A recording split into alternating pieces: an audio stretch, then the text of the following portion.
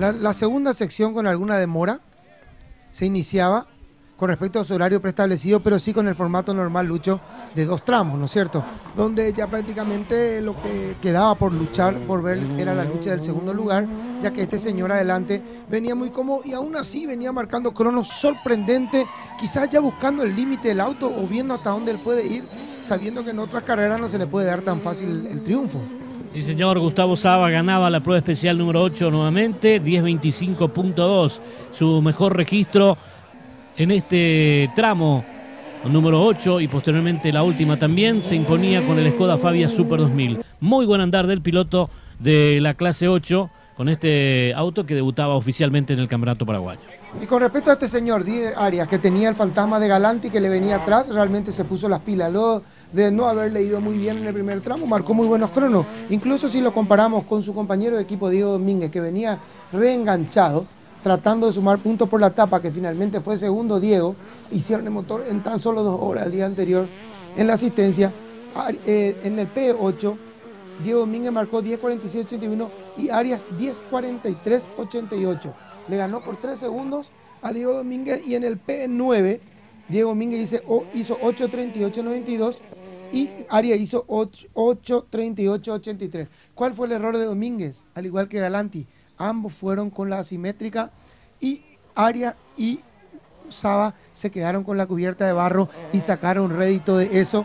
Por eso que ni Galanti ni Domínguez pudieron, Galanti alcanzar el segundo lugar y Domínguez tampoco pudo pelearle la etapa a Gustavo Saba. Hablamos de lo que es la etapa porque Domínguez ya estaba fuera de la general.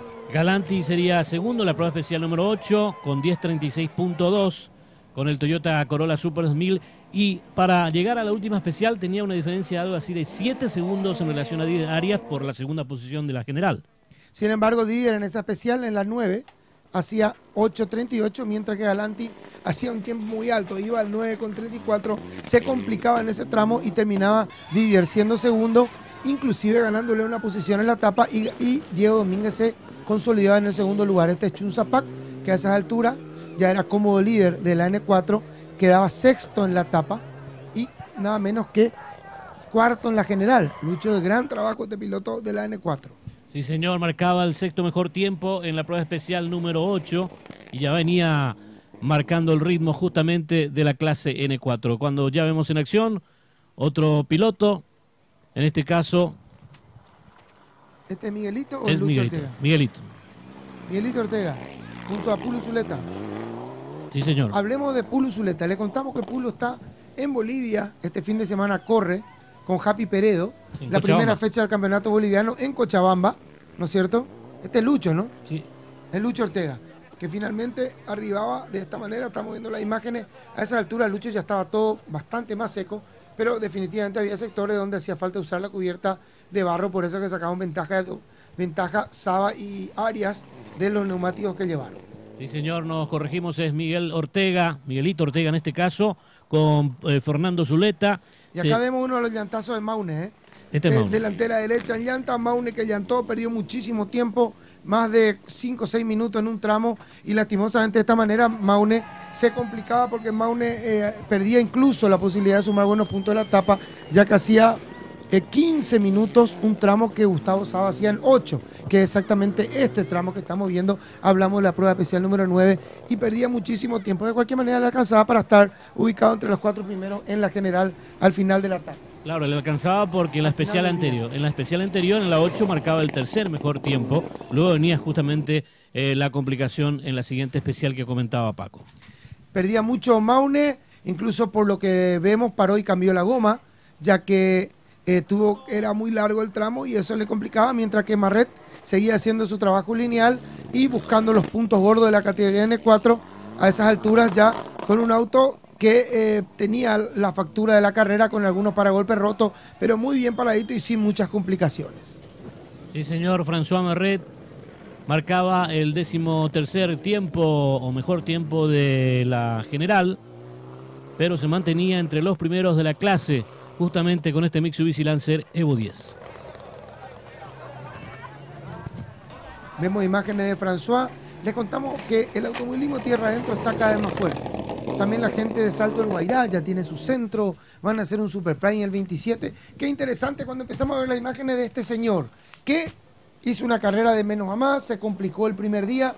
Ayer estuvo contigo en la radio, Lucho, en, Velocidad Monumental, y contanos qué te contó él de cómo le fue esta carrera. Realmente una victoria que no lo esperaba, según él mismo, pero... Fruto... se complicó el sábado, ¿no? Sí, fruto del trabajo también de Oscar Emilio Naput, hay que decirlo, el gran esfuerzo. Y ayer le decía, mucha gente está contenta contigo por, por lo que le está sucediendo, por todas las cosas que sucedieron antes con él, justamente, de estar en la N4 Live y hoy con dos victorias consecutivas. Aquí aparecía ya el piloto de la N4 Live con este Mitsubishi Lancer Evo 8. La N4 Live, acá lo vemos a Oscar Vitar, la N4 Live que tuvo cambios al final de la general, ya que eh, Oscar Emilio Naput fue el líder, mientras que Oscar Vitar quedaba segundo y Carlos González con la complicación que tenía Lucho en un tramo donde perdía realmente muchísimo. Hablamos donde perdía, que perdía tiempo, iba, terminaba siendo tercero colocado en la categoría. Sí, señor. Ahí lo vemos a Oscar Vitar. También viniendo con el Mitsubishi Lancer Evo 7. En este caso, perdía la posición también frente a Oscar Emilio Naput.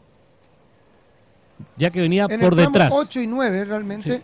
Él estuvo en 12 minutos, mientras que Oscar Emilio y Oscar Vitar estuvieron en los 11 minutos. Luego 9 minutos había hecho en el tramo 9 y Carlos González estaba a 10 minutos y pico, consecuencia de los problemas que ya mencionábamos de limpia parabrisa y la poca visibilidad no le permitía y también veíamos un golpe. Más que, aparte, creo que el golpe fue a consecuencia de limpia parabrisa que nos vio y golpeó en un lomo, ¿no? Así mismo, ya venía complicado el Mitsubishi Lancer Evo 6 de Carlos González que estaba acariciando el triunfo, pero lamentablemente con una ventaja importantísima. Perdía la carrera en forma realmente llamativa. Les contamos que el próximo programa tenemos un especial de la F2. Lastimosamente había tantas imágenes, tantos Incar, que hoy no pudimos mostrarle todo, pero por supuesto, el próximo miércoles a las 23 les mostraremos mucho de la F2. Y esta ha sido la clasificación final de la carrera. Gustavo Saba primero, segundo Arias en la general, tercero Galanti, cuarto Zapac, quinto Lucho Ortega, sexto Germán Maune, séptimo Marret, octavo Oscar Emilio Naput, noveno Oscar Vitar y décimo Carlos González. Sumamente contento. Bueno, el año pasado también fue especial y bueno, este año más, más especial. Eh, el, rally fue en conmemoración de un amigo nuestro que falleció en el rally del Chaco el año pasado, así que esto tiene un valor especial y dedicarle también este triunfo a ellos, a su familia. Eh, un lindo rally, ¿verdad? también el sabor especial por debutar el nuevo auto y que nos salgan las cosas bien, así que contento. Claro que sí, ahora qué se viene Gustavo después de este triunfo importante dentro del campeonato. Bueno, ahora vamos a trabajar con mirada al Mundial el primero de mayo tenemos el Mundial en Argentina.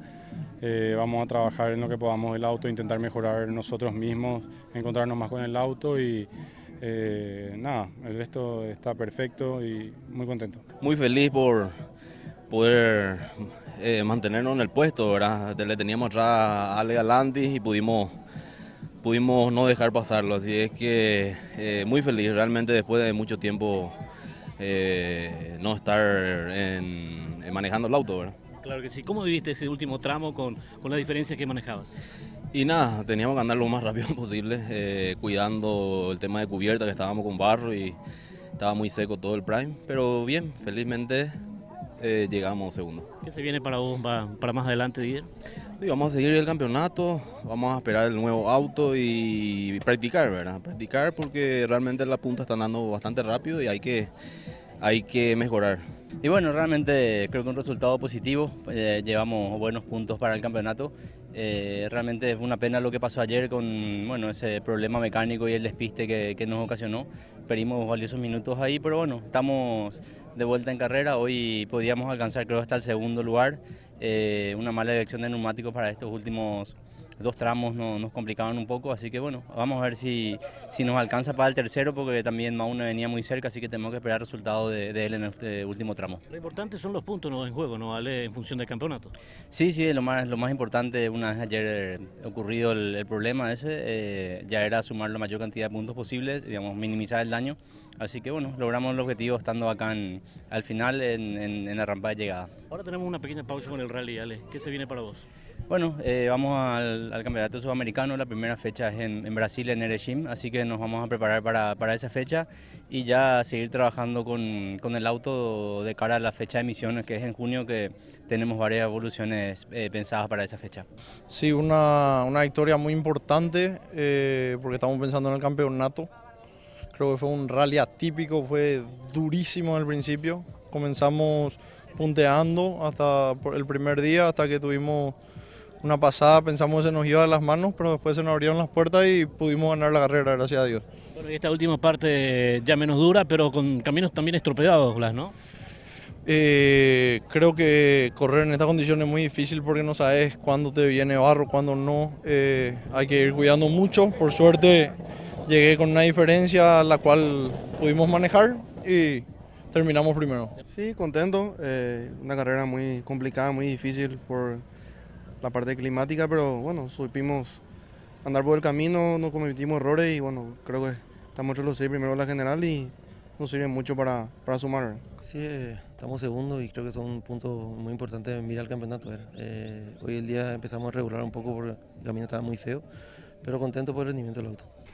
Al hilo increíble, ¿verdad? Ya en, en San Ignacio Misiones se me dio la primera victoria de este año y ahora otra vez luchamos muchísimo, hicimos el auto otra vez a nuevo.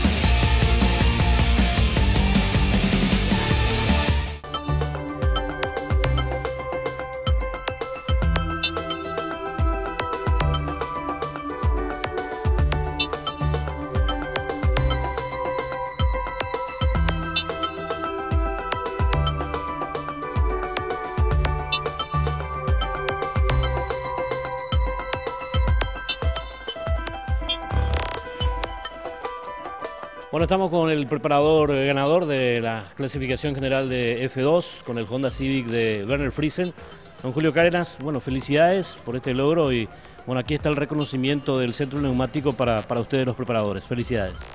Muchas gracias y muy agradecido a la gente del centro neumático y, a toda la gente que nos están apoyando en este emprendimiento.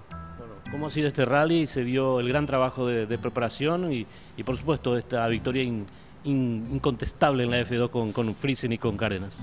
Y sí, realmente que trabajamos para eso, nos dedicamos a pleno al auto, al piloto, al copiloto, el trabajo en equipo, todo. Queremos con, esto, con este pequeño agasajo premiar también la gente que no siempre está adelante de todo, gente que está atrás trabajando todas las semanas, todo el año por el vehículo, que lo pone a punto en este campeonato que realmente cada vez más competitivo y nos hace llorar a todos, ¿verdad? Eh, felicidades, Eladio, y bueno, eh, un reconocimiento muy especial del Centro Neumático para el trabajo de ustedes. ¿eh? Muchísimas gracias, Lucho, y le damos gracias también al Centro Neumático con los logros que estamos teniendo acá en Santaní, gracias al equipo. Exactamente. José, ¿qué puedo decirnos también como miembro del equipo de Saba Competición? Y muy agradecido por el reconocimiento por parte de ustedes y del Centro Neumático y muy contento por, por, la carrera que tuvimos el fin de semana. La verdad nos sorprendió mucho la adaptación de Gustavo con su nuevo auto. Como dijeron acá los compañeros, eh, increíble cómo se adaptó el auto, un auto a nivel mundial corriendo acá en nuestro campeonato, realza todo este trabajo que hacen, que hacen ellos y su equipo. Muchas felicidades y que sigan los éxitos.